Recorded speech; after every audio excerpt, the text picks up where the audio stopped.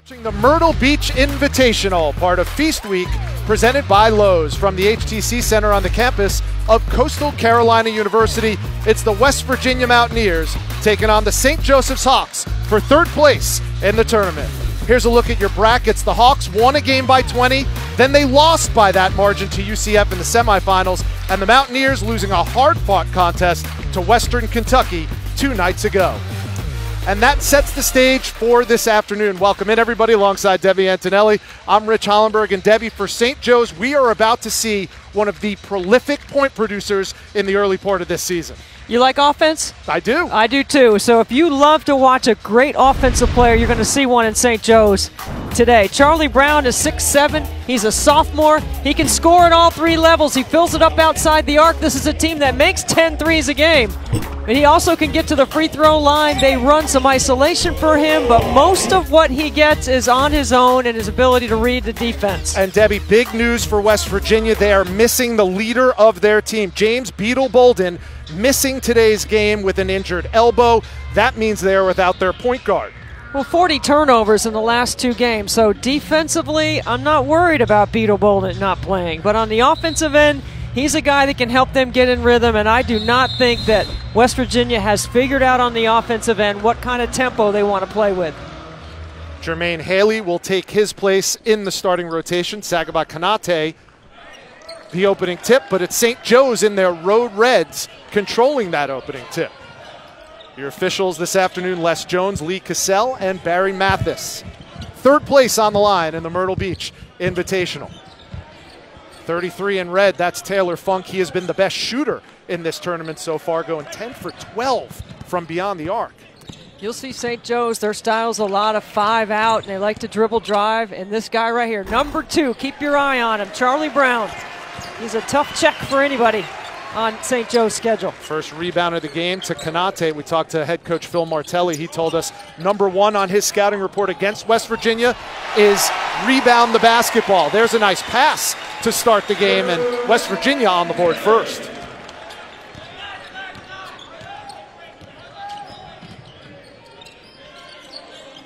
They're going to switch on Charlie Brown. They're going to try to keep ball pressure on him. Uh, what West Virginia switching on everything right now. And Taylor Funk picks up where he left off, make it 11 for 13 from distance in this tournament. Absolutely incredible. Three consecutive games. St. Joe's has started with a three. That's a big part of their DNA. As I mentioned, they make 10 threes a game. They love that five out. They all can shoot it. Big size differential at the point with Bynum, number three, the freshman, trying to check Jermaine Haley.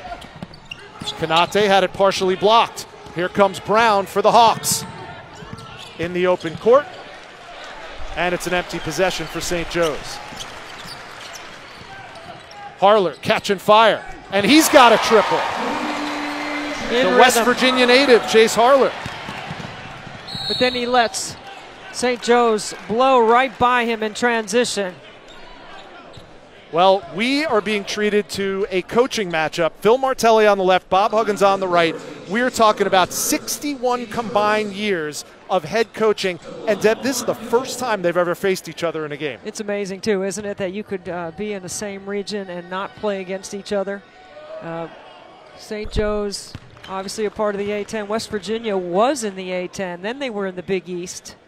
Now, of course, the Big 12, but they never played against each other until today. Yeah, they were rivals for 13 seasons from 82 83 to 94 95. Of course, Bob Huggins in his 12th year at his alma mater, West Virginia. He had the Mountaineers in the Big East before they moved to the Big 12. Two free throws by Lamarr Kimble, one of the best nicknames in the country. Fresh, they call him.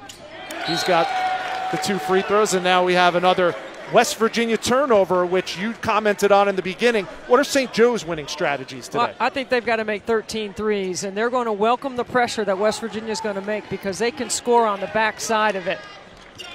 They also have to rebound and run and attack the second level and make some triples. That's why I think they're going to make 13. And West Virginia, they've got to get points in the paint, establish Konate inside, and look to make the easy pass.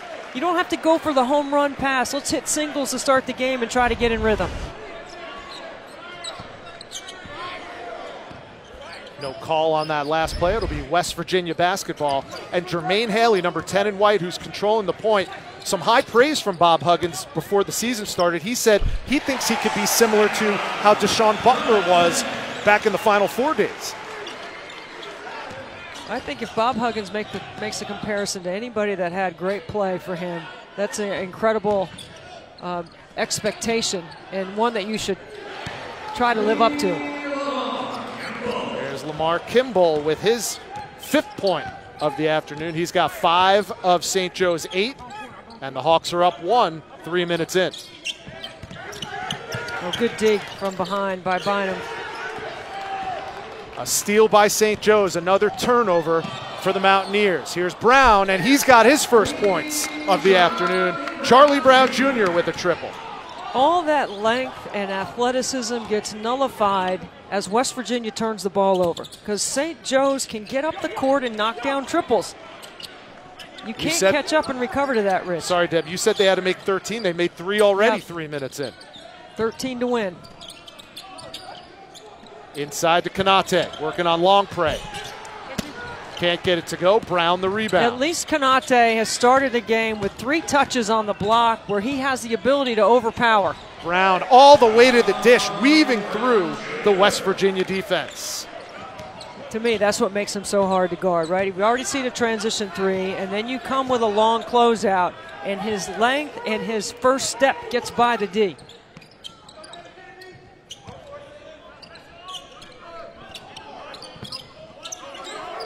St. Joe's in the midst of an 8 0 run. Harler trying to end it. He can't with the three, and St. Joe's comes away with it.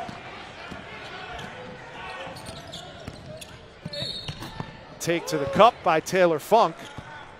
And we have our first timeout, 15 38 to go. St. Joe's off to a hot shooting start. They're up by six on the Mountaineers. ESPN's exclusive presentation of college basketball is brought to you by Visit Myrtle Beach. Relax and unwind on Myrtle Beach time.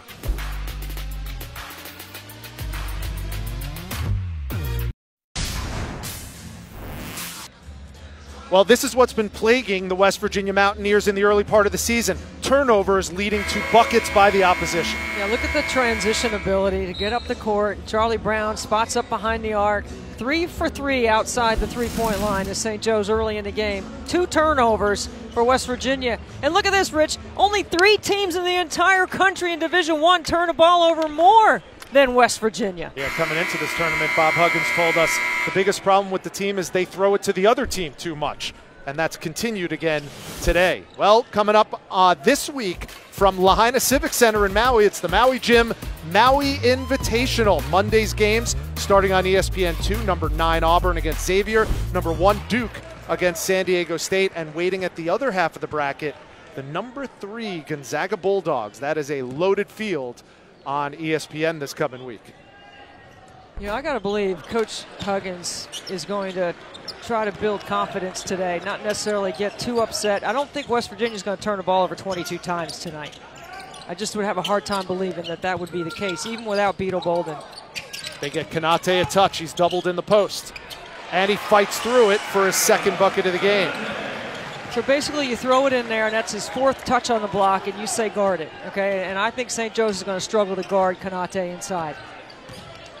Konate had his hands full Friday night against uh, super freshman Charles Bassey. We'll see Bassey and the Western Kentucky Hilltoppers in the championship game.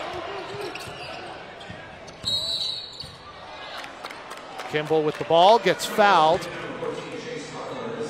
That's the second foul on Chase Harler. Harler, a West Virginia native, playing for his hometown school. And you could say the same for Lamarr Kimble, a Philly kid. Six foot redshirt junior out of Neumann-Goretti High School. That's a walk. Here's Kimble, zero in red. Trying to work on Harler. Pull up Jay, too strong. I don't think St. Joe's needs to take contested shots like that. You got to get a ball reversal. That's one thing Coach Martelli was saying. The more he sees the ball moving from side to side, the better off the offense will be. Konate got the foul, and Sagaba Konate will go to the line. You're going to see St. Joe's dig in, sometimes double. They're going to change up their looks, but that's the fifth touch for Konate inside. You remember we were talking about how he's been drifting out to the perimeter. Well, now he's going back on the inside, and this is what he can do on the defensive end. But on the offensive end, he is terrific at getting a good post up with his back to the basket and earning a trip to the line. He absolutely is one of the most feared defenders in all of Division One basketball. But expanding his offensive game, as you said, is something that's critical for him to go to the next level. Well, it, it's you're talking about multi multi millions of dollars, right? Mm-hmm. Move your feet on the perimeter, guard in the two man game, knock down triples, and if you can hit the corner three, which I don't think he'll be in the corner that much, he's got to be able to hit the trail three. And if he can do that, that's going to add to Coach Huggins' offensive options. Two free throws by Konate make it a two point game. St. Joe's handles the press Virginia pressure with ease.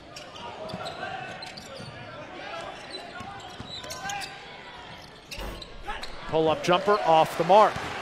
And Matthews, 11 and white, making his first appearance of the game, grabs a rebound. Charlie Brown's gone up the floor a couple times without a touch. See Konate again, eight points in the early going yep. for Sagaba Konate. It's not a hard fix, right? It's a very simple formula for West Virginia. And I think right here for St. Joe's, they need to look at Charlie Brown as well. And Taylor Funk showing he's not a one trick pony. Not just threes for Funk, he has five now.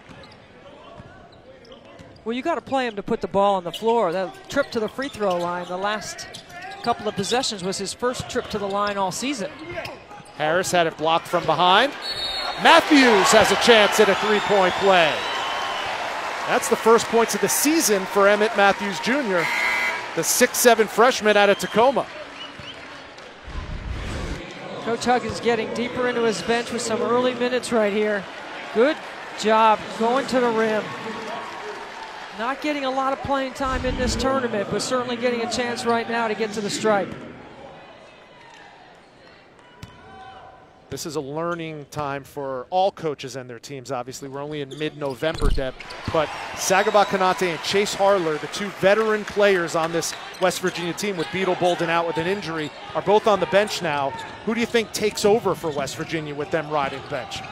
Well, I think Napper would like to be able to be in charge of the point a little bit. He got early minutes in the game yesterday, or excuse me, on Friday against Western Kentucky. Taylor Funk having a productive first half. He has seven, including one triple.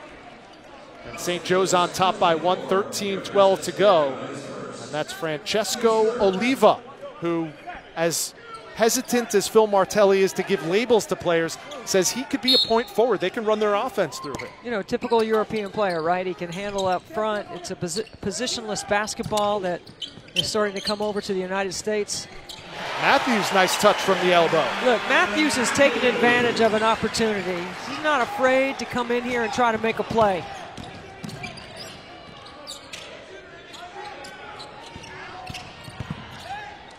Oliva out to Funk. Here's Brown alone in the corner, and he knocks it down.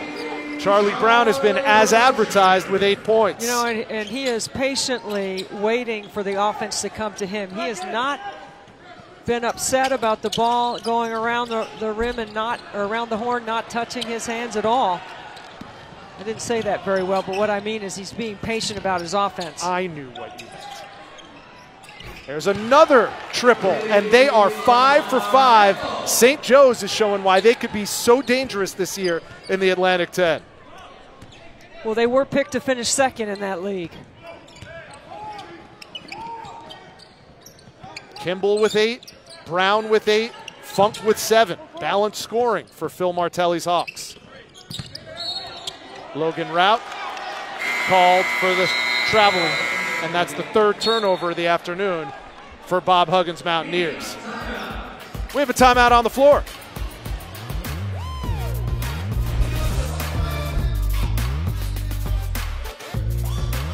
Here's a three by St. Joe's again. They are hot right now from beyond the arc.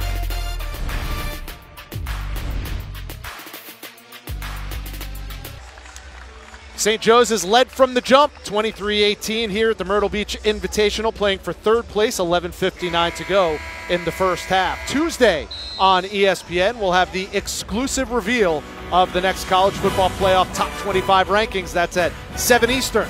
Rece and the guys breaking them down from top to bottom, have coaches' reactions as well as a live interview with new committee chairman Rob Mullens. You can always watch live on the ESPN app from anywhere. And if you know Debbie Antonelli like I know Debbie Antonelli, I have to say I'm a little surprised that you weren't named the chairman of that committee. I'm ready if you're they the, call You're the chairman me. of every other committee in the NCAA that I no. know. Of.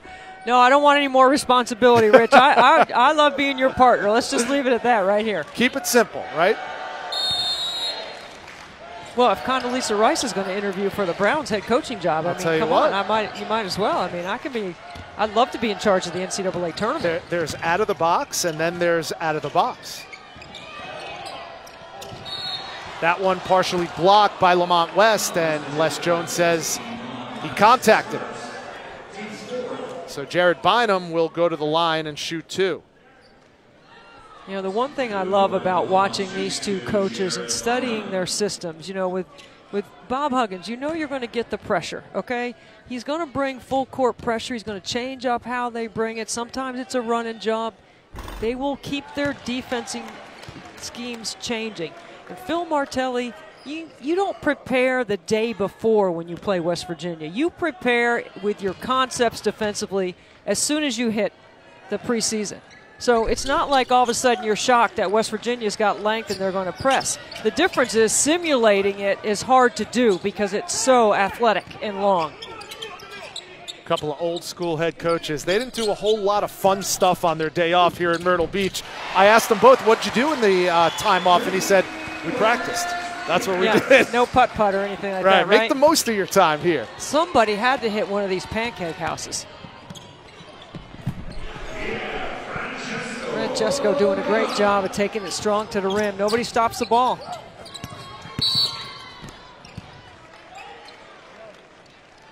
Well, so far the story of the game has been St. Joe's and their ability to knock down the three-pointer. Five for five so far, but they've been taking it to the cup as well. That's the one thing that you love about the St. Joe's bigs. They shoot the three, they play the five out because they can handle, they can go off the bounce. And besides dribble penetration, guarding in transition is the toughest thing to defend. Napper from the corner, in and out. Offensive rebound by Konate. Muscled it up, but it wouldn't go for him. Well, he's playing with that high motor rim to rim right now, isn't he? Konate really working for position inside. Oliva short on the three, and here comes Napper in transition. Emmitt Matthews, 11 and white, getting some extended minutes today. And now it's Konate feeding the post instead of getting paint touches himself. Well, I don't mind Matthews inverting to the block when you've got a smaller defender on you. It's a good recognition by Konate to feed him inside on the repost.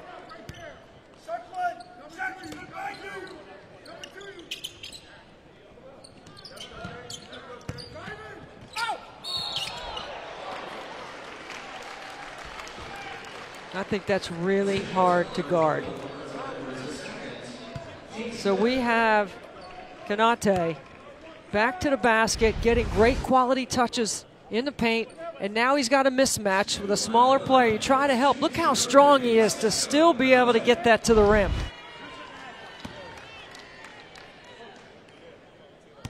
One dribble move, no stepping in on a charge on that, man. No way.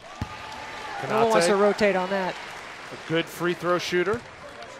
He's perfect from the stripe so far today, three for three, has nine points. And Emmitt Matthews Jr. gets a well-deserved hand from the Mountaineer faithful who have come out in full force this tournament. And Jordan McCabe checking in for the first time. I think it was a combination cheer for Matthews Jr. and uh, the fans are looking for Jordan McCabe to see what he can do. Jordan McCabe, an ESPN top 100 recruit. It's been a top 25 class that Bob Huggins has brought in, and they're so deep, he's still trying to figure out who can break into the rotation. Here's another three. That's the first miss from beyond the arc. Check that, their second miss this afternoon. All alone, West for three. Got it. Really good decision. Good pass by Konate.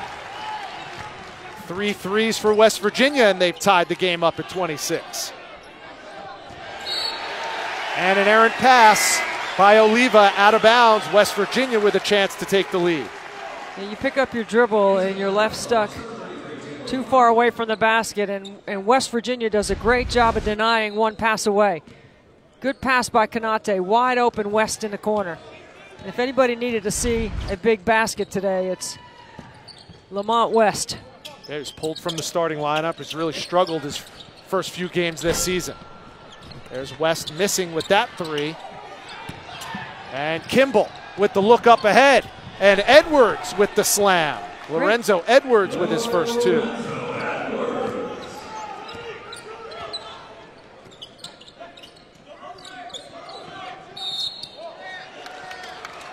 And Harris called for the traveling violation. That's turnover number four for the Mountaineers. Watch Kimble off the bounce, one handed pass, perfect to Lorenzo Edwards to finish. You get an easy basket like that, that's got to give you a little momentum if you're St. Joe's because you're constantly going under duress against the West Virginia D. They count the basket from Fresh Kimble, and he's in double digits with a chance to add to it the and one. Jordan McCabe struggling keeping Kimble in front. So what happens first to have to I'm surprised he didn't try to block that instead of going for a, a charge. Kimble 75% from the stripe in the early part of the season. If you can't keep your man in front, you force rotation, and that is going to help St. Joe's because they like to shoot the three, so they'll reverse the basketball and get an uncontested three.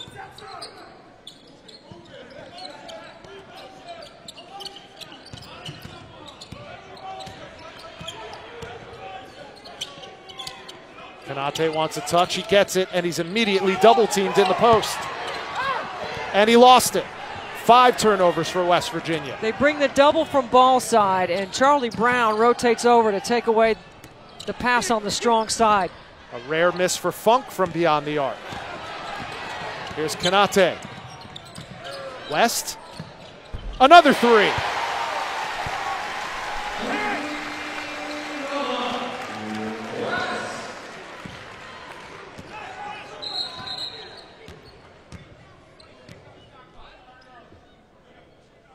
And the official stop play with 8.17 to go. And now Andrew Gordon, number 12 in white, will take Sags Konate's place on the floor.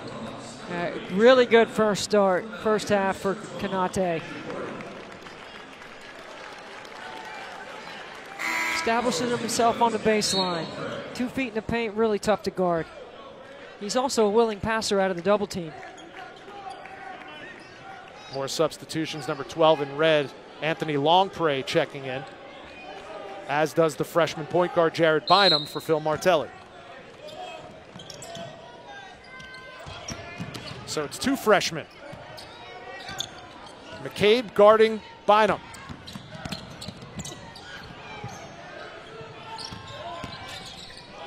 Funk, step back, pretty. Boy, that was a beautiful play. One strong dribble to the elbow, little fadeaway. He wasn't shooting it all that well to start the season. And Phil Martelli joked with him, as sarcastic as Coach Martelli could be. He said, Hey, when your parents come to Myrtle Beach to watch you play, make sure they bring your jump shot with you. well, they brought it. To one more. Harris passed it up. Five on the shot clock. Here's Napper. And it's an air ball shot clock violation and that will not please Bob Huggins. 32-29, St. Joe's with 7.28 to go. Can't let the ball get stuck on one side of the floor because if you do and turn it over, this is what St. Joe's can do. Taylor Funk is not in a shooting funk in this tournament.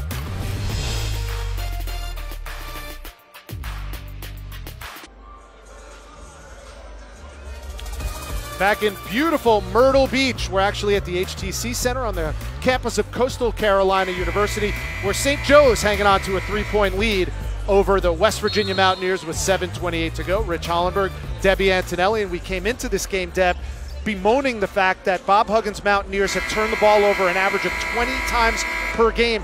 It made it even worse to find out that Beetle Bolden, their point guard, is going to miss this game with an elbow injury, and yet so far they've only turned it over six times. And we were saying that's pretty good for West Virginia considering what they've been doing. So, are you looking for this team to show a little maturity? If Bob Huggins is trying to find out something about his group, he's finding something out in the first half. There are plenty of people that can manage the offense at the top of the floor. Now, who can take care of the basketball? Because they're shooting the ball pretty well, especially outside the arc where they're 50%. Funk off the mark again. They've missed their last four three pointers. Harris knocks down another three. So now West Virginia is heated up from beyond the arc. They've hit five triples. And here comes a change of defense, a trap at midcourt. And Press Virginia shows itself. It was a good change by Bob Huggins, just to affect the rhythm of the game. And you know what's interesting? Everybody was freaking out when West Virginia lost to Buffalo at home. It was their worst home loss in, what, almost 20 years. And yet in that game, Beetle Bolden went out toward the end of the game, Deb, and it seemed like West Virginia was rattled and couldn't shake that. In this game, without Bolden, it seems like they've responded better. I think they're learning the things that all young teams have to learn, especially when you have a big change at the point where you don't have Jevon Carter. You want to play fast, ramped up, excited on the defensive end, but then you got to learn how to slow that down a little bit offensively. I think that's part of the problem why they turn the ball over so much. Here's an NBA three from the freshman Jared Bynum, his first field goal of the game. And that puts St. Joe's up by 3, 35 32 with 6.20 to go. 2 3 zone. West. A little heat check, maybe. Lamont West has his third three of the first half. Well, without Konate on the floor, you might as well shoot the threes now, right? Because as soon as he comes back in, that's the difference for West Virginia, that he can get on the block and they can throw it in there and he can score. Brown. Wow. Can you top this? Contested three. That's the third triple for Charlie Brown. He has 11. He's all business, isn't he? Averaging 24 a game coming in. Now West. Are you kidding me? Go ahead, Lamont West. You were due. How about the foot fake for a little separation?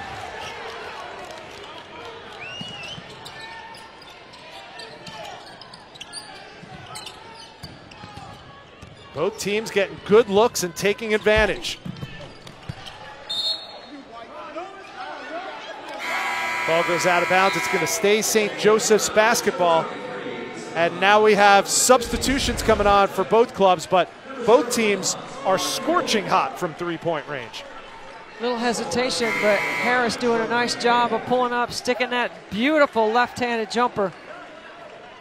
Under pressure, Charlie Brown on the other end, and then Lamont West counters.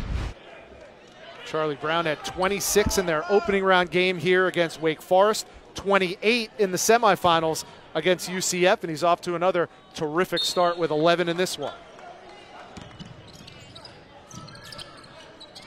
Tie ball game coming up on five minutes to go. Long Longpre. Can't get it to go from in the painted area, and we're going the other way.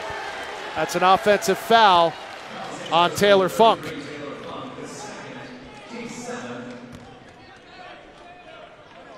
And so now with West Virginia in the bonus, they'll be shooting one and one.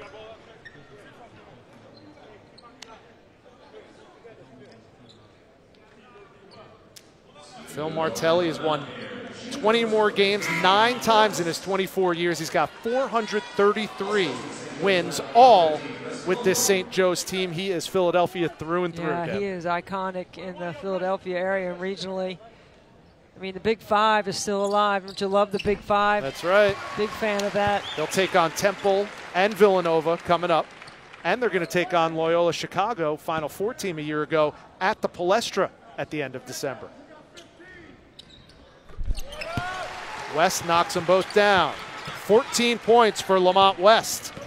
And it's a two point West Virginia lead.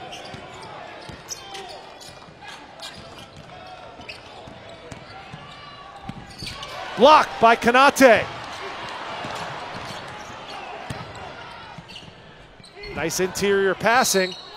And a chance at a three point play. Checo Oliva will go to the line. Oliva, watch this. He gets the double pump fake right here. There's one. Here comes another. Gets Sagaba Konate in the air. Tough bucket by Really good. Francesco Oliva. Really good finish inside. St. Joseph's got to shoot free throws better. They only make 12 a game.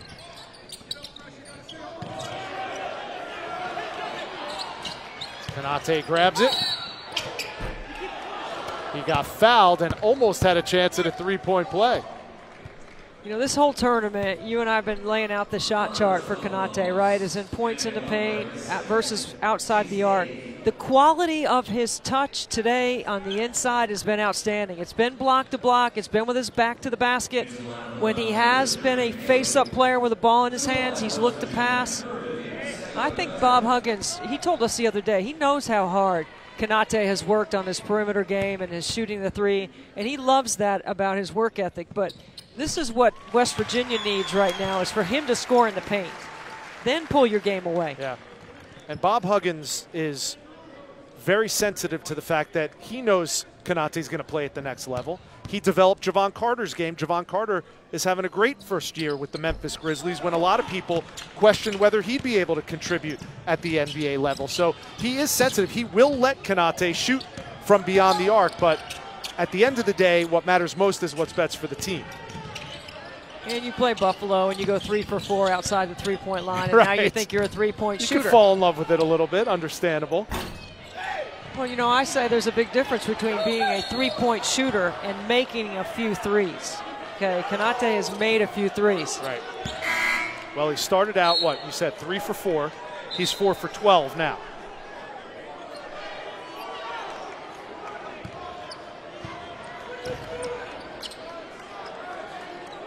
Phil Martelli a little incredulous at that last call as Jermaine Haley brings it up with a chance to put West Virginia on top again.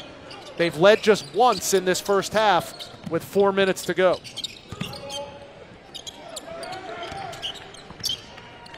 Haley had his pocket picked and a foul called. And there's a little bit of inexperience showing for Jermaine Haley at the point. Well, you got to tighten up that bounce when you got 5'10 Jared Bynum in front of you. Sagaba Konate sitting on the bench with under four minutes to go. West Virginia shot the three well early. They got a one point lead. ESPN's exclusive presentation of college basketball is brought to you by Lowe's. Hurry in today for huge Black Friday savings. We have been treated to a three point barrage here on the final Sunday for Myrtle Beach. You know I'm perfectly fine with that. Both these teams can shoot till their arm falls off as far as I'm concerned. I thought St. Joe's was great in transition. They scored early. Charlie Brown was a factor. We haven't heard Charlie Brown's name in a little while. And then West Virginia, Chase Harler got him started, but they've made 7 for 12 outside the arc as well. And Lamont West has been fantastic. He is 4 for 5 outside the three point line. Four of those seven threes, and that's what's gotten West Virginia back in it. But interesting to know, we've kept an eye on Sags Konate all tournament long. And yes, we talked about the fact that he can shoot the three, but Konate's touches have been closer to the basket. You feel like that could be a key down the stretch. I think that could be the difference because they can trade baskets back and forth, but when you get into the second half and Konate has got to stay out of foul trouble, you know, he already has two fouls. He, we probably won't see him the rest of the half. I don't think St. Joe's can guard him inside. And they can't guard Andrew Gordon either. The reserve big man gets a bucket and plus one. You know, to me, this is West Virginia basketball, right? Throw it in the block, try to guard it, punch him in the mouth. and try to stick it right off the glass. And Konate is good, and he'll be an NBA player, but young Andrew Gordon is an athletic freak. He didn't pick up the sport of basketball until he was a senior in high school at Dunedin High School in the Tampa Bay area, and he took it on as a dare from one of his family members, and now all of a sudden he's playing Big 12 basketball for Bob Huggins. So this is his third year of organized basketball? Yes, and he is a dynamite Amazing. football player.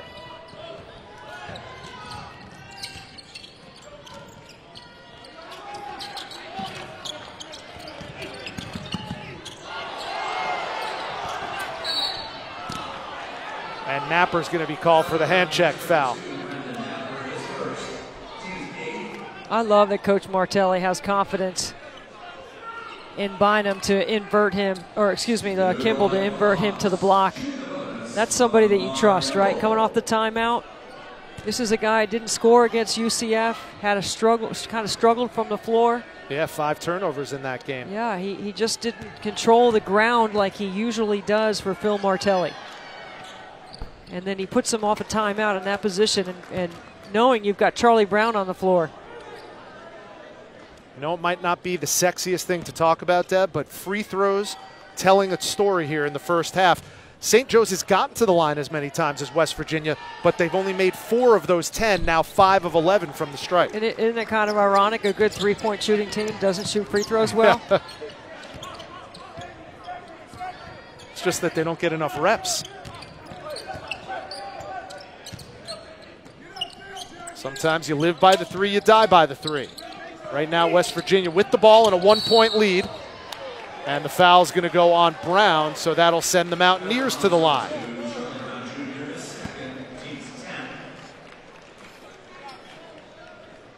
And it's double bonus time, so the Mountaineers, and in this case, Wesley Harris in particular, will be shooting two.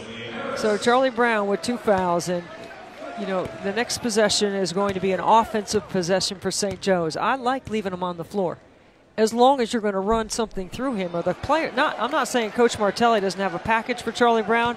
The way they run five out, I would believe that the guys on the floor would try to get him a touch right here. Well, he's got 11 points, three for three, but you mentioned it a couple moments ago. Haven't called his name much in the last few minutes. You know, and that's the brilliance of what Phil Martelli does. It's that he knows he's got a featured player, but he also understands why balance is important. And right on the spot, Brown took it to the length of the floor but had it blocked. And there's Fresh Kimble with the putback. 14 points for Lamarr Kimble, and that puts St. Joe's back on top with a timeout on the floor, 44 43.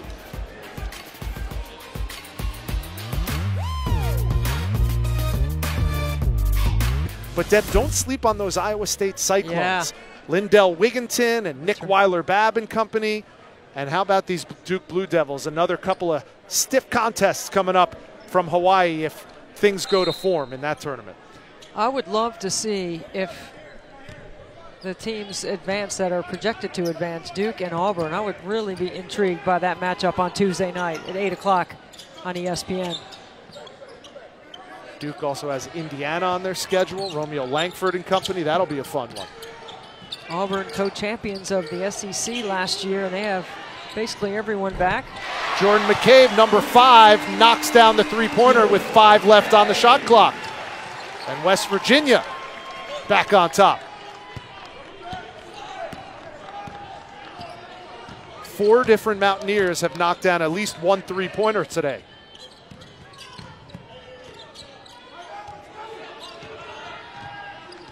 There's the freshman Bynum, the only freshman on Phil Martelli's roster, getting significant playing time. This Now is a clear up. out. He's going to call for it. Here comes a step-up screen. Five to shoot. Kimble does. And it's off to the left and out of bounds. There was no space there for Kimble to drive. I think he wants that matchup against McCabe.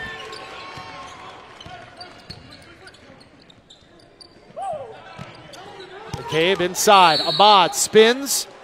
And a foul's called, and it looked like Esa Ahmad took one right to the kisser. Haven't called Esa Ahmad's name yet this afternoon. Held scoreless in the first half, and he came in averaging 14 a game. You know, St. Joe's has picked up several fouls digging in or doubling on the block. And that's the way they play inside. You know, Coach Martelli's always trying to bring two to the box. But to your point about Ahmad, he's over there, uh, looks like he's got a bloody nose, trying to get the blood to stop so he can go to the free throw line.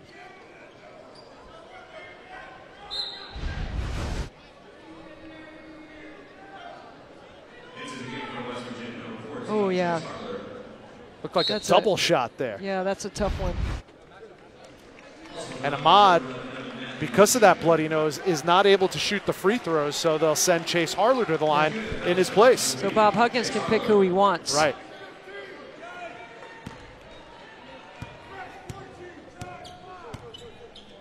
Harler, the 6'3 junior, out of Moundsville, West Virginia, two time West Virginia Gatorade Player of the Year coming in, but very much a role player in his Yeah. first two seasons in Morgantown.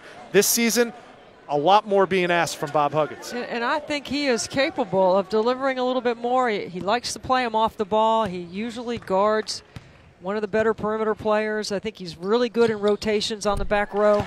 And, he's, and he talks on defense. It's a really important key. He communicates.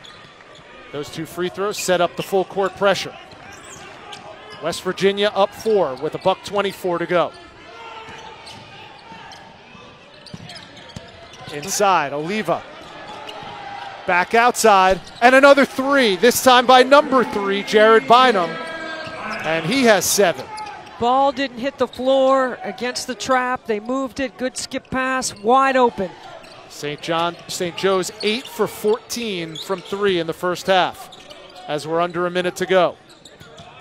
Got to come with a long closeout right here. He's got the hot hand.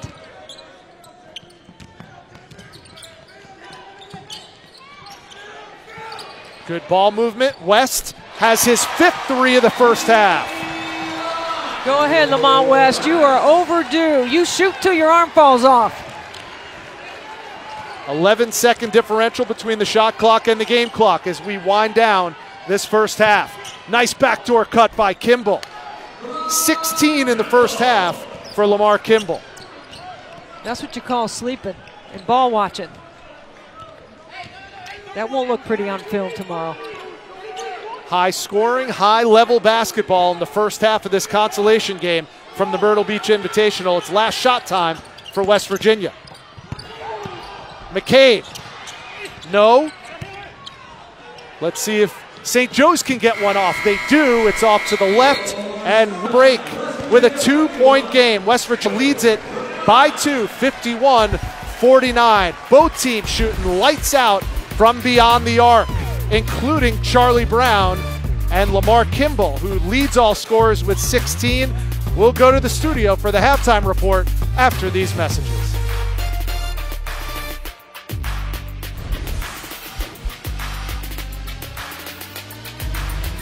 We're back at halftime of the Myrtle Beach Invitational, the consolation round between the West Virginia Mountaineers of the Big 12 and the St. Joseph's Hawks of the Atlantic 10. A reminder that next year's field for Myrtle Beach has already been announced, and once again, it is an impressive one. Baylor will be the Big 12 represented. Coastal Carolina, the Chanticleers are actually going to be the home team. That's rare, but it is happening in 2019. Penny Hardaway is going to bring his Memphis Tigers in, as is Ben Howland's Mississippi State Bulldogs, and of course, highlighting the 2019 field, the Villanova Wildcats of the Big East. So that is something to look forward to. We have the second half to look forward to between the Mountaineers and the Hawks. Keep it right here. We're at halftime. We'll get you ready for the second half after this. South Carolina, part of Feast Week, presented by Lowe's. Rich Hollenberg, Debbie Antonelli. It was a very entertaining first half here between West Virginia and St. Joe's. The Mountaineers lead it by two, and both of these teams play defense. We know West Virginia prides themselves on their defense, but both teams shot exceptionally well from beyond the arc in the I first mean, half. a lot of open threes, transition threes, threes off a kick. Very few contested triples. St. Joe's loves to shoot the three. They average 10 a game. They did a nice job in transition, especially early on when West Virginia turned it over. And they did a nice job of moving the ball and getting open looks And for West Virginia, hey, listen now, that's all about West Virginia's defense. Well, today their three kept them in the game here and actually helped them to a two point lead. I thought they did a great job of spacing the floor. And part of the reason, Rich, why the spacing on the floor is better for West Virginia is because Sagaba Konate is inside on the block playing his natural role, which allows everyone else to play their role. There are 16 ties and 10 lead changes in the first half. What do you feel like is going to be the key to the second half, and what could be the difference maker? I think the difference could be Sagaba Konate. Look, nobody, not many, have anybody that looks like him in college basketball. And look at his shot chart from the first half. Points in the paint, catches in the paint, and he's able to facilitate through the double team as well. I think he plays with a high IQ, and I think he showed that he wants to win. And that's why he's gone back on the inside to play his natural position. Good first half for Konate, 11.6 boards, and West Virginia has the lead and the ball to start the second half. Third place on the line. Both of these teams one and one in the Myrtle Beach Invitational. And immediately Konate gets a touch and he's double teamed. Ball goes out of bounds. It'll stay Mountaineers basketball. So I thought West Virginia's details were really good in the first half, better than we've seen all tournament. But that pass right there, you've got to get the right angle to get that ball inside to him, knowing that he's going to get doubled.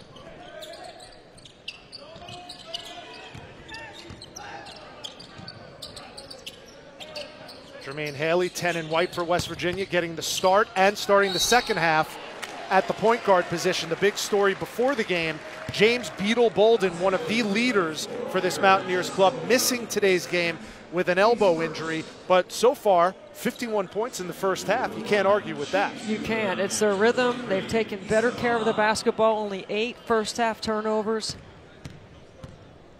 There's Bolden on the bench in the shooting shirt. And what's even more curious, they scored 51 points without Esa Ahmad getting a bucket at all. And he was the leading scorer for this team, coming in, averaging over 14 a game. We've been talking about the West Virginia depth, you know, for the entire tournament. And, and Bob Huggins went to his bench early in the first half, and I think he's building confidence with this group. You know, they know that they turn the ball over too much. They got to understand why they've turned it over and not make the same mistake twice. They've averaged over 20 turnovers a game, and there's Charlie Brown starting off with the backdoor cut, and they're going to tee him up because he slapped the backboard after the dunk. Terrific backdoor cut, and that has to drive Phil Martelli crazy. Well, right out of the locker room, look at this nice play, the dunk.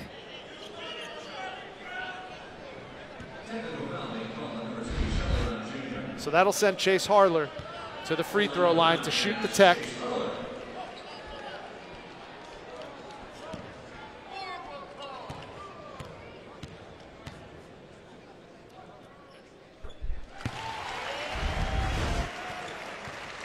Great piece of execution.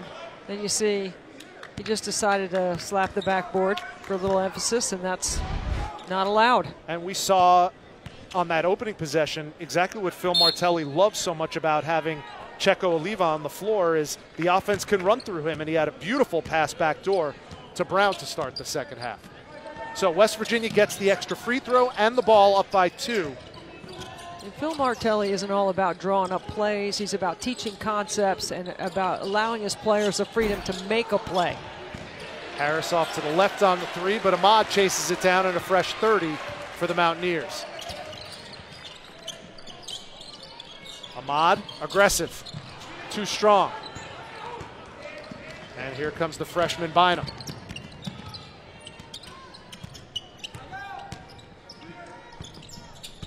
Another backdoor cut. Oliva got the foul, and he'll go to the line. Unless it looks like Les Jones might have called that on the floor. What a terrific adjustment in game out of the locker room by Phil Martelli's club. We haven't seen any backdoor cuts. They go to their five out, they space the floor. In the first two possessions of the second half, they get a backdoor look. And we were remarking how through the first two and a half games of this tournament, they had almost as many threes taken as they did two point field goals. So far, they're coming out intent on attacking the basket, and you could tell that's not necessarily Oliva's strong suit. That's Sagaba Konate right there lurking. And he even had a little smile on his face. And a little bit of a Bronx cheer from the Hey, Mountaineer faithful. You're going to finger roll that thing near the cup. That thing's going in the fifth row.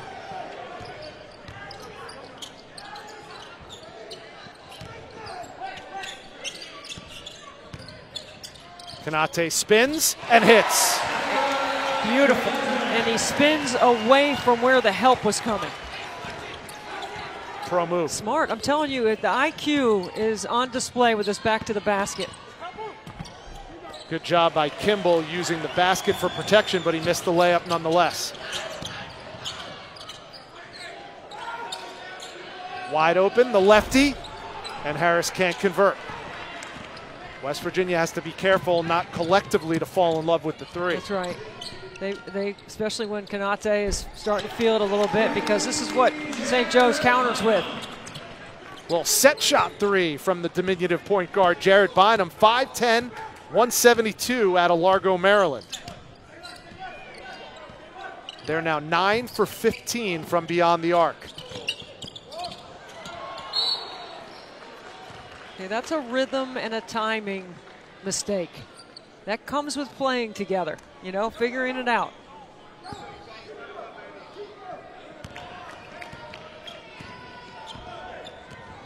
And Harler's going to get that turnover, but when Coach Huggins looks at it, that's going to be Haley's turnover. Bynum. The one more to Funk. And he knocks that down. Second three of the afternoon for Taylor Funk, and he's got a dozen. He has had a terrific tournament.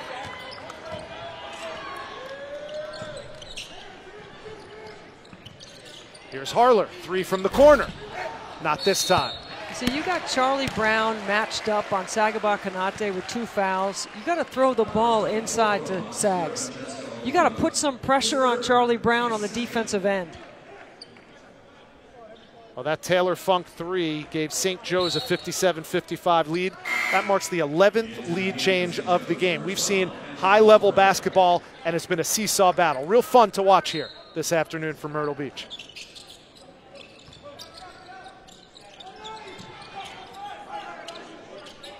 Konate pointing where he wants the ball and the pass to come from. He's got to shape up a little bit to the basketball on the top as well. Harler.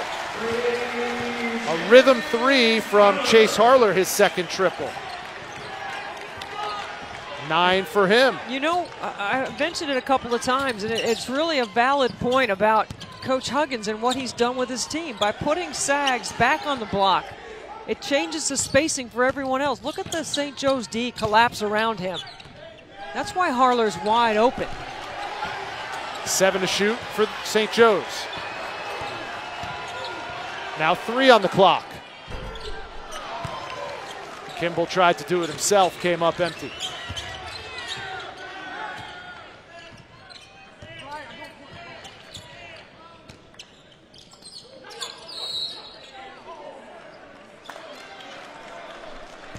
And we've got a whistle that stops play with 15:36 to go. Well, make a three, miss a three, it doesn't matter. The St. Joe's Hawk will be flapping his wings all the time. We'll have more on that when we return. ESPN's exclusive presentation of college basketball is brought to you by Lowe's. Hurry in today for huge Black Friday savings.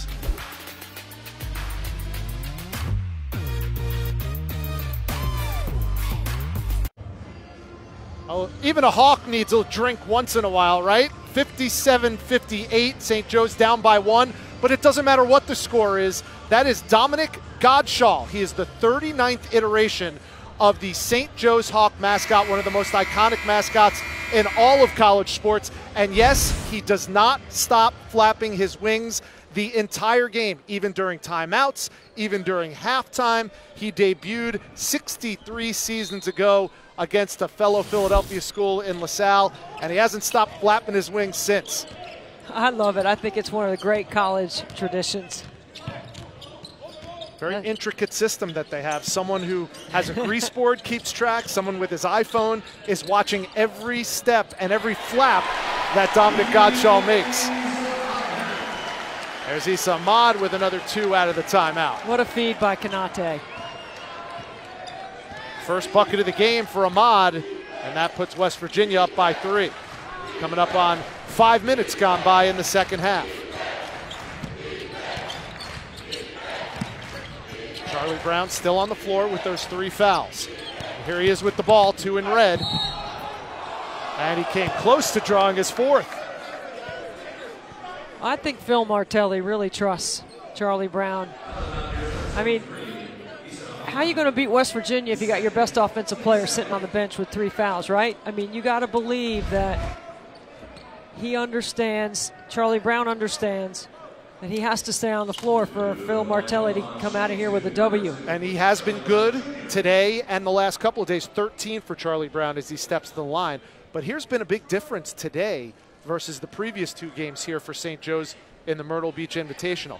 In their semifinal game against UCF, Brown and Taylor Funk combined for 44 points. The rest of the team combined for 13. Today, much more balanced scoring with Kimble having 16, Jared Bynum in double digits with 10 as well. They only had five players score in that UCF game, and you're right. To Phil Martelli, to your point, Rich, Phil Martelli says, you know, to have a, a balanced team and to feature Charlie Brown, we have to have a combination of everyone scoring. Otherwise, how can we feature him if we don't have balance? There will be the defenses on him will be so tough. He won't be able to shake free, so other guys have got to be able to score. Those two free throws pull St. Joe's back to within one. Mismatch. Konate had it slapped away from behind, but there's Ahmad again who's got the hot hand in the second half. You notice how West Virginia's just gone back to their quarter court man-to-man defense. Maybe Bob Huggins wants to be really good in this part of the floor right here. Brown catch and release. Wow. 18 for Charlie Brown on his fourth triple of the game. Really good rhythm to his jump shot. Konate, tough shot, baseline. And Funk clears for St. Joe's. Chance to take the lead on a three? No. Oh, see, that's not a smart play by Charlie Brown at all. I can't believe that he's trying to get this tap right here from behind, crashing the glass. That's a foul. And we'll keep an eye on the St. Joe's bench and Charlie Brown. And right now, as you would imagine, Brown with 13.55 to go in a tightly contested game is going to have to sit on the bench for a while. It's going to be a good lesson right here for him to learn. Question is, how long does Phil Martelli keep his leading scorer on the bench? You keep him on the bench as long as this stays within one or two possessions. And it's been that for most of the game. 18 ties, 12 lead changes. Harris, tough shot, contested. And here comes Fresh Kimble.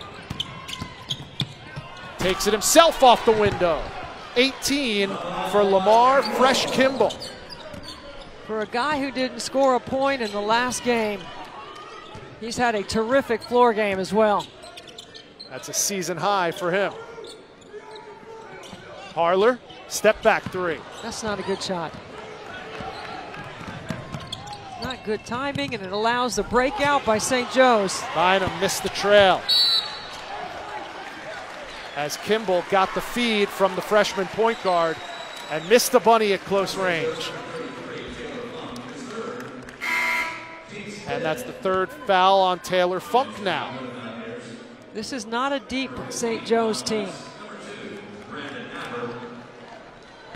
Now some substitutions for Bob Huggins as Haley and Matthews go to the bench and Brandon Napper checks in.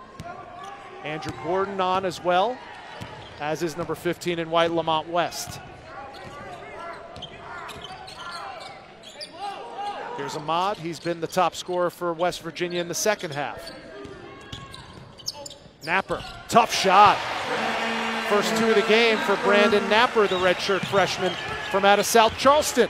West Virginia. Rich, don't you get the feeling after watching West Virginia for three games in a row that Coach Huggins has just made it simpler for the guys? He's just made it easier for them to be able to play, to make plays, and to run their stuff and to keep their defensive system. And they want a breakaway foul on that one. Good defense by Ahmad to initiate the fast break. And Bob Huggins wants that to be a two shot foul. Yeah, I think they have to look at it because there was a grab of the arm in transition. And you're right, Deb. They are going to go over and look at this one. The foul was committed by the freshman Jared Bynum. It's a question of was it a common foul or a breakaway yeah. foul? He grabbed his arm. Now you're going to watch right here. He pulls his arm, and that that's not a, a that's not necessarily a play on the ball. Watch from this angle. Yeah, he was not making a play on the ball there. I, I think they're going to upgrade it to an F1. And it's interesting to note when we were talking with Phil Martelli before this game, asking him what his keys to success would be for his team. One, he said rebounding. They're hanging tough with West Virginia in the rebounding department. But the second thing he brought up was no junk fouls. And this could be a big one here in a tie ball game with 12:24 to go. So it will indeed be a flagrant one foul, and that means two shots and the ball for West Virginia. I think it's the right call. It's a good job by the officials. Take a look at it. And what's Phil Martelli telling his team right now? You can almost read his lips saying, calm down, right. calm down. I mean, they're fine. Remember, he told us if they can be within 60 points at the, at the four minute mark, they, they have a chance to win. Here's the keys and winning strategies for the game. They got to make 13 threes. They already have 11. Okay. They got to attack the second level of West Virginia's pressure. See, they, they've got to make sure that they are looking to attack, but West Virginia's backed off a little bit. And paint points. Sagaba Konate has been a factor on the inside and a difference for West Virginia's rhythm and space on the offensive end. St. Joe's actually leading West Virginia 22 18 points in the paint. So Knapper goes one for two on the flagrant one foul, and it will be West Virginia basketball with a one point lead. Well, here's the one thing that I've learned about Sagaba Konate watching him today is that guy wants to win. Okay?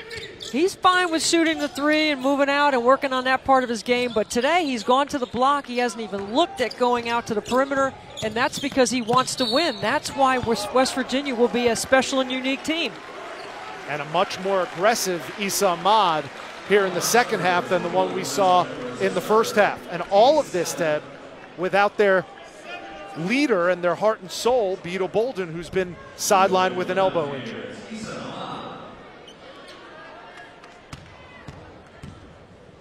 Why is this West Virginia offense so different with Bolden out versus with Bolden on the floor? Well, he's a terrific three-point shooter, and Coach Huggins likes him actually off the ball. You think about his role last year. Jevon Carter dominated the ball at the point guard position, and Beetle Bolden played off the ball. The only time he would run the point is if Coach Huggins wanted Carter to get a three or to, to make a play off the ball.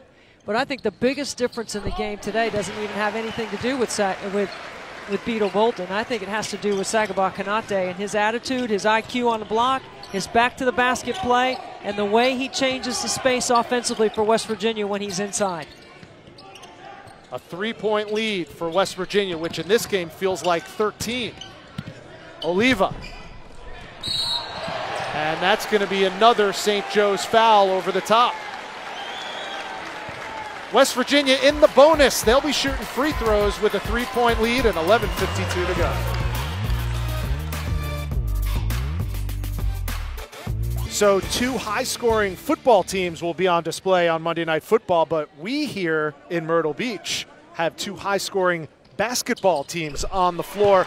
Maybe a little surprising that West Virginia and St. Joe's are racking up the points, but it's 68 64. Both teams shooting lights out from beyond the arc. 11.52 to go. Rich Hollenberg, Debbie Antonelli, the Myrtle Beach Invitational, part of Feast Week, presented by Lowe's. And oh. West Virginia, courtesy of those free throws, Deb, has their largest lead of the game, and it's just five. Here comes their full court pressure. I wanted to say the game feels clean, right? Like shots are going in, nobody's turning the ball over.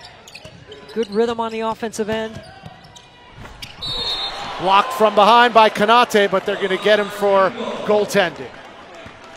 I think sometimes that's okay to make that play just from a, an intimidation factor. Send Watch. a message? Yes, absolutely. I didn't see Coach Huggins even flinch on that one. Sags Konate is closing in on the all time West Virginia blocks record. He'll get that in the next couple of weeks. Good hands by the freshman Bynum tying that up. But they're going to call a foul on Jared Bynum. So we've spent a lot of time talking about Sags on the inside offensively, but last season I watched every one of his block shots on Synergy, and this is the way I charted him. 57% of the shots he blocks, he blocks into West Virginia's transition game. 29% the opponent keeps.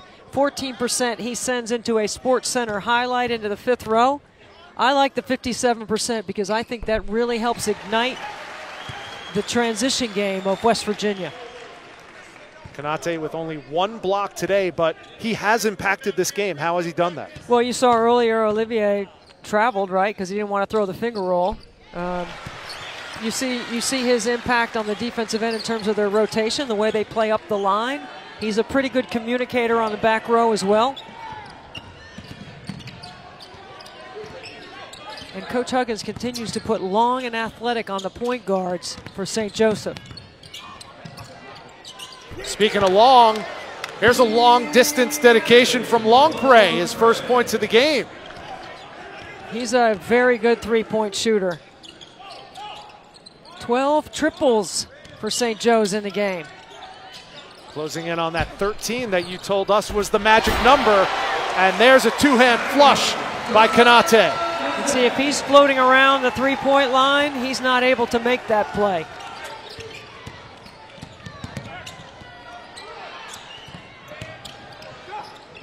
Open look, and St. Joe's can't cash it in. Got to stop the ball. Here's West for three. Make it six three pointers from Lamont West. It's a much better decision by Lamont West in transition, in rhythm. He had 22 against Buffalo in the season opener. He has 22 today against St. Joe's, and the bulk of them coming from beyond the arc. Lamont West has given West Virginia their largest lead of the game.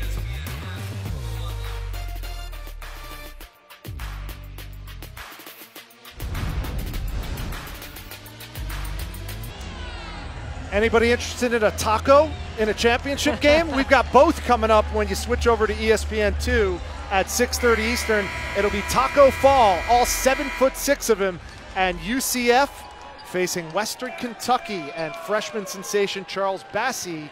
That'll be for the Myrtle Beach Invitational Championship, and we cannot wait for that one. We've got a great one here in the third place game. West Virginia 76, St. Joe's 69 coming up on 10 minutes to go in the ga- in the second half. Remember Charlie Brown for St. Joe's with four fouls on the bench. I don't know how much longer Coach Martelli can keep him there down seven, especially if West Virginia scores on this possession. And you're right, Deb. Since Charlie Brown went to the bench with that foul, it's been a West Virginia run. Here's Ahmad inside to Konate. 10 on the shot clock. West in the corner. Good hustle by Bynum. And we've got a foul on the floor. That's going to go on Brandon Knapper.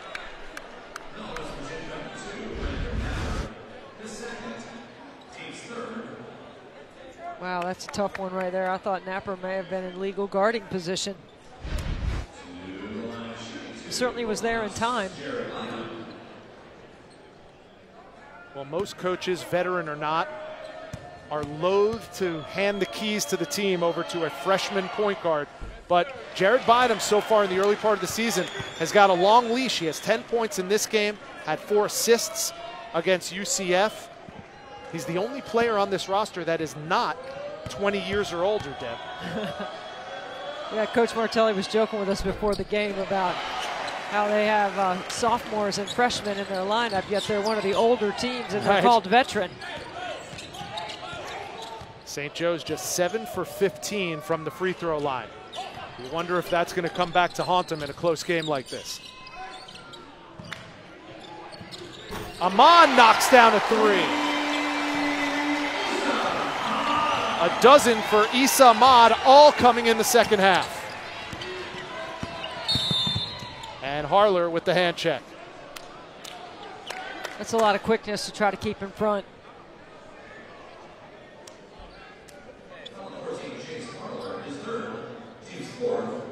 And Fresh Kimble's going to have to do a little repair work on one of his kicks as Charlie Brown is now back in the game with nine minutes to go. Yeah, down, down 10. And if you're St. Joe's, you put him in on an offensive possession right here, and, and you, you just have to trust him. Right, you just got to believe Charlie Brown knows he needs to be on the floor for his team to win. Let's see if Coach Huggins takes advantage of it on the defensive end. Nice set play, getting Taylor Funk an easy look. He's got 14. So West, you might get a free pass on that one just because you've hit a bunch of triples today, but that's not going to be good on film. Konate from the nail. And Funk with the rebound. They can make it a two possession ball game with a bucket here.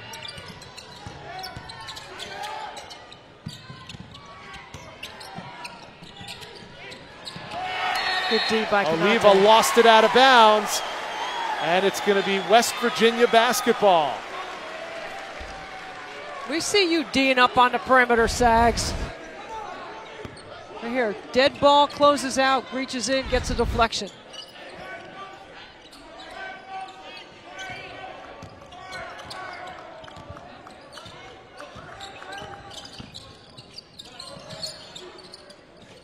Ahmad short. Here comes Bynum. Brown. Offensive foul, and that's going to do it for Charlie Brown. The worst case scenario for Phil Martelli and the St. Joe's Hawks. Brown was on the court for all of one minute before he picks up his fifth foul of the game. I, I mean, I don't know what to say there except for I wish Bynum had hung on to it for maybe one or two more dribbles and made Knapper commit because Knapper had plenty of time to set up, have a cup of coffee, and draw a charge. Well, as good as St. Joe's has been from beyond the arc, they're going to have to be even better in the final eight minutes now with how West Virginia's been playing this entire game. Down eight is St. Joe's without their best player on the floor for the rest of the game now.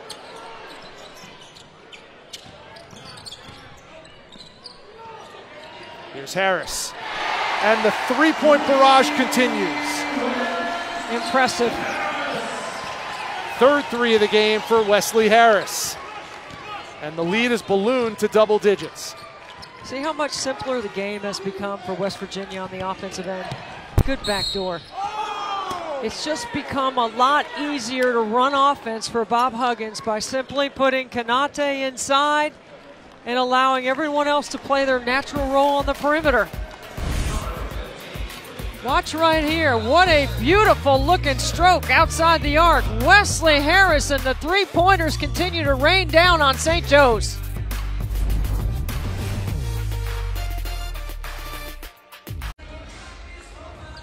Rich Hollenberg, Debbie Antonelli, the rest of the ESPN crew from the Myrtle Beach Invitational. Now for today's game track, brought to you by Visit Myrtle Beach. And what a turnaround it's been for West Virginia, shooting wise from beyond the arc. I just think their spacing is so much better, and they look more confident, and they've been able to step into uncontested threes because they've played through the post. And Sagaba Konate, for all the athleticism and the power and the shot blocking ability, his offensive IQ has been terrific today. He has been a willing passer through the double team and he's been very effective with his back to the basket scoring for West Virginia. And just by putting him inside, it changes all the angles on the outside. I think Coach Huggins has done a terrific job of keeping it simple for his young team, trying to adjust without Carter and Miles in the backcourt. And conversely, Phil Martelli now has to worry about coming back in this game with some significant foul trouble for his St. Joe's Hawks. Good defense playing straight up by the Hawks there, but the Mountaineers come away with it.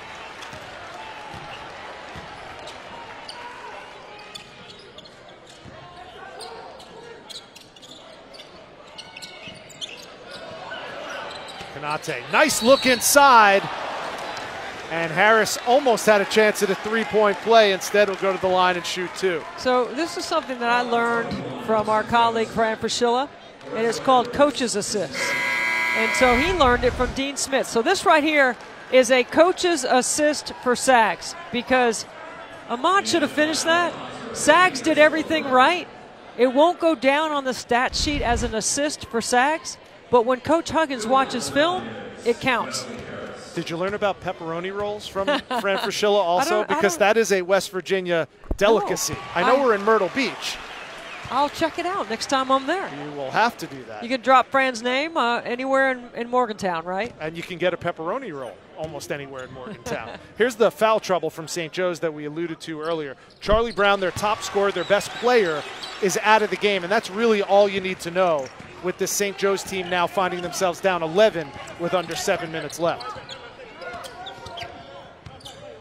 Well, they're going to have to really do a good job of being productive every time down the floor. They're not a team that gets to the free throw line very much. They're going to have to rely on their three-point shooting. Bynum blocked out of bounds by Ahmad. It's not just Konate that could get up and swat it. Great length. Big time play by Ahmad the energy level for West Virginia has been terrific. Their confidence much better. Seven on the shot clock for St. Joe's.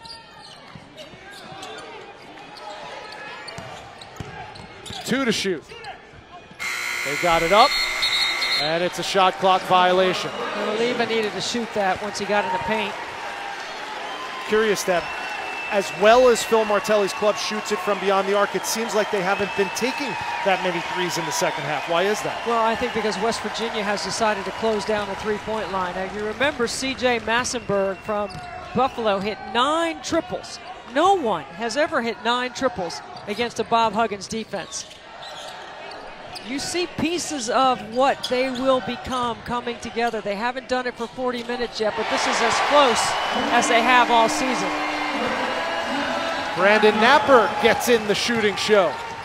His first triple gives him six. And now West Virginia starting to pull away up by 14.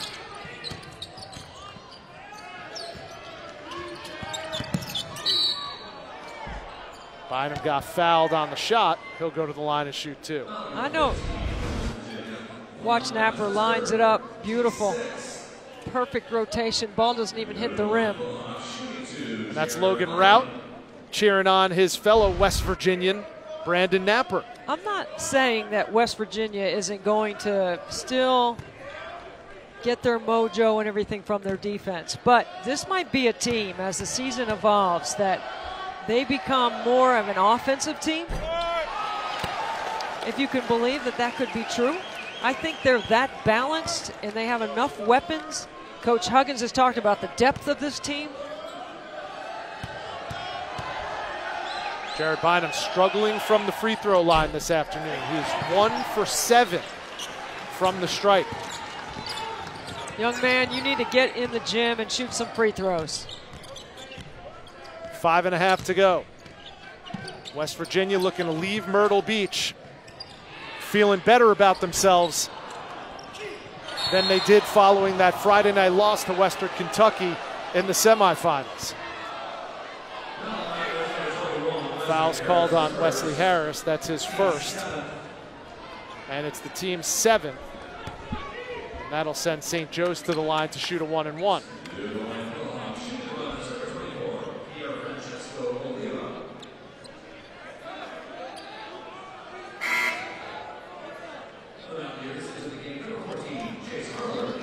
Now Chase Harler off the bench to replace Esa Ahmad, who's had a dynamite second half, scoring all 12 of his points in the second stanza.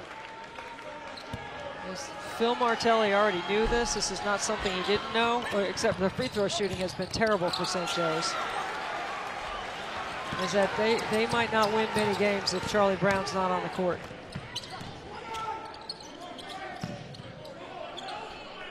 I'm sure Coach Martelli knew that. And, and this is a, a, veteran coach who I'm sure practices without Charlie Brown on the floor just so you can get ready in case something like this happens, foul trouble, and he's out of the game. Harris, corner, not this time.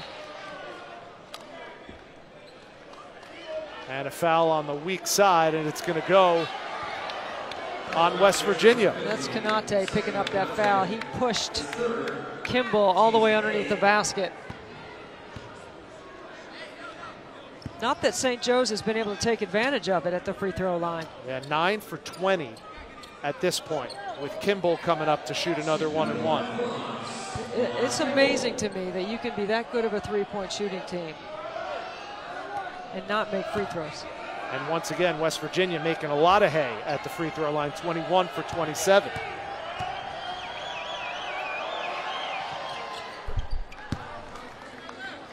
Nineteen for Kimble. His career highs 26.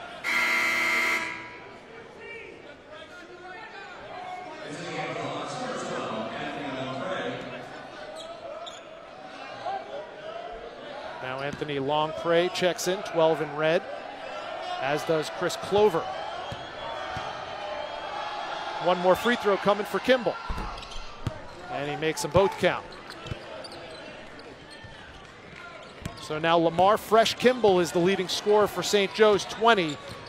But with under five minutes to go and your team down a dozen, they're going to have to start thinking about knocking down some threes like they did in the first half. You got to stay in that zone because it's tough to match up with them man to man.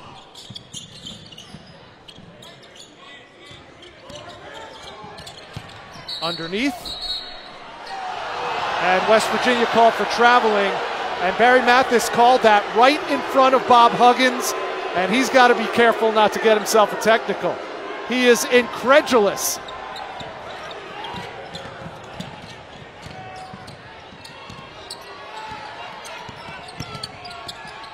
Kimball with the take. Beautiful. Split the D. Now you got to get a couple of stops in a row.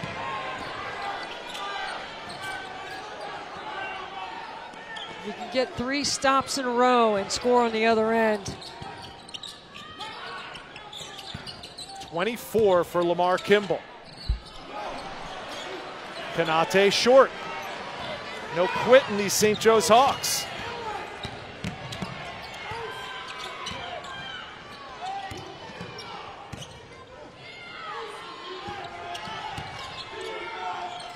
Funk, shot fake. And the three attempt goes awry, and then another foul is going to go on St. Joe's. And Funk had a great look. 3.30 to go. Time is of the essence for Phil Martelli and the St. Joe's Hawks if they want to get back in this one down 10. ESPN's exclusive presentation of college basketball is brought to you by Visit Myrtle Beach. Relax and unwind on Myrtle Beach time. Next year. It's going to be fantastic, and uh, he has a very good fan base here. They love hoops in this part of the state of South Carolina. How about 752 career wins for Cliff Ellis? He's in that Bob Huggins category. Yeah. Hugs with 846 coming into today. We talked about Cliff Ellis and the Coastal Carolina Chanticleers will be part of the eight team field next year here at the Myrtle Beach Invitational. Hugs looking for career win number 847 with a victory today, and it'll be well earned as Knapper knocks down the free throw. Redshirt freshman watching Brandon Knapper get some quality reps in the game versus Western Kentucky as well. He's done a very nice job today. Knapper's been around the program a couple of years, had to sit out last year after right knee meniscus surgery. But he's a West Virginian, was a three-time All-State player in the state of West Virginia before choosing to stay home and play for the Mountaineers. Loose ball, and the smallest player on the floor comes away with it. Kimble, floater. Kimble, what a game. 26, matching his career high for Lamarr Fresh Kimble. And he's picked up the scoring slack since Charlie Brown went to the bench with eight minutes to go, but might be too little too late with 2.51 to go and West Virginia up 10. There's plenty of time if you can get some stops. You can't give up that. Lamont West has a career high and a career high in threes. 25 for the junior out of Cincinnati.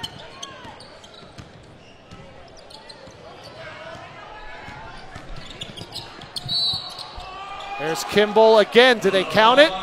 Yes, they do. Well, Kimble does such a good job getting his shoulders by the defender. Watch him turn a corner right here. Shoulders past Harris, right to the rim. You talk about a tough Philly point guard. That's Lamarr Kimble. Went to Neumann-Goretti High School.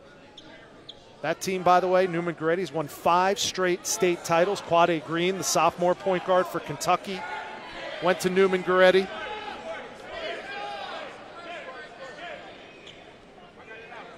Yeah, they're only giving him one one free throw. They did count that basket. There were some questions at the table. A three-time captain for Phil Martelli. He's the only St. Joe's player ever with that distinction. And he has a career high 29 today in Myrtle Beach. A little extended pressure by St. Joe's. Coming up on two minutes to go, 10-point game. And a no-look pass to no one in particular. Konate thought he could find Harler in the corner. it's not funny because Coach Huggins has been very patient with this team, but that's just the third turnover in this half. Much better job by his team, and that was an unforced error. But he was telling Sags that the guy in white is standing right over here. Make Yeah. the easy pass. Something tells me that'll show up on the tape tomorrow when they get back to Morgantown.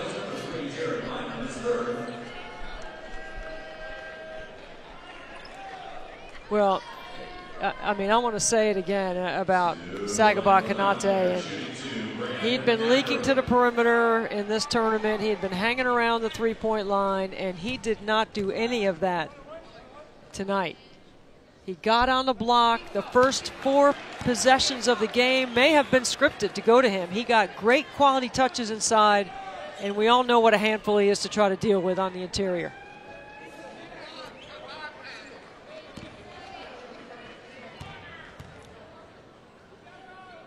Knapper, good contributor in this third place game. He has nine points, and that extends the Mountaineers' lead to 11 with a minute 45 to go.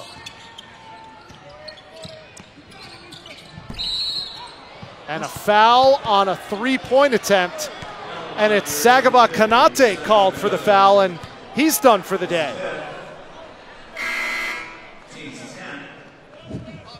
And that's a typical grimace with his arms crossed by Bob Huggins.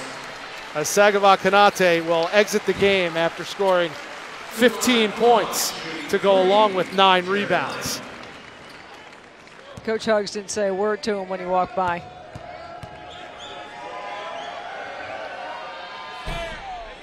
I think Bob Huggins is going to. I know it could be at times frustrating, but I think you're going to see incredible improvement out of this team as the season goes on. They were picked to finish third in the Big 12 behind Kansas and Kansas State. And don't be slipping on K State. They got everybody back. And what have we learned about this West Virginia team in terms of press Virginia? Do you think they'll keep up with it? Do you think he'll scrap it all together? Where do you fall No, on that? I, I think there's. It may not be uh, the 40 minutes that it's been. It might be in pieces that work for personnel. Uh, but you know that's the one thing. You don't win as many games. There's a turnover against pressure. Maybe Phil Martelli is going to be thinking that he should have been pressing more. But to finish that thought, you don't win as many games as Bob Huggins on, on your way to the Hall of Fame eventually without figuring out how to balance what you want to do with who you have. Well, Bob calls timeout. He has two remaining with a buck 16 to go. And look who's in attendance today, Deb. Doing some work as well. He's not working for ESPN, but our resident bracketologist, Joe Lunardi, is the radio analyst for the St. Joe's Hawks. So he's been here all weekend. And Joe knows you can't just play basketball. They had a day off yesterday. So Joey Brackets hit the links here in Myrtle Beach. It's what you do when you're at Myrtle Beach. Showing some good I, touch. I think he's got to work on that shoulder turn a little bit. I'll talk to him about it later. Got to got to close down his stance a little bit. I don't want to pile on Markelle Fultz, but Markelle Fultz, who plays for the 76ers, has the yips at the free throw line. no yips for Joey Brackets no. on the golf course, for sure. What a great guy. What a terrific ambassador for our, our sport.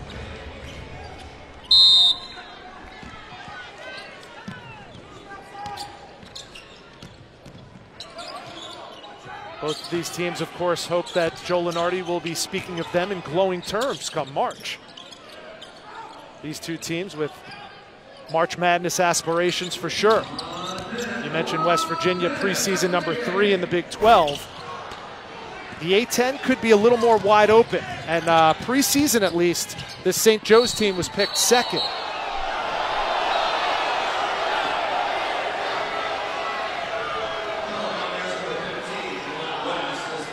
foul is going to go on Lamont West, and Chase Harler and company not necessarily agreeing with that.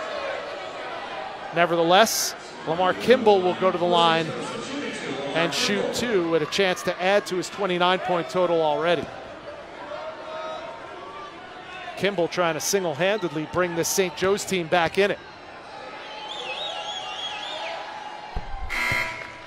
And it's 30 for Fresh Kimble. UCF waiting in the wings. Coming up at 6:30, they will take on Western Kentucky for the Myrtle Beach Championship. That'll be over on ESPN2. We hope you'll join us then.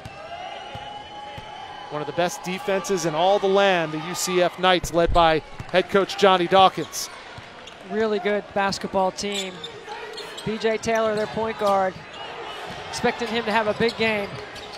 And he can score with the best of them. He can, and he did not score well in the last game. Look at this ball movement against the pressure. And Funk forced to foul Wesley Harris, so Harris will go to the line.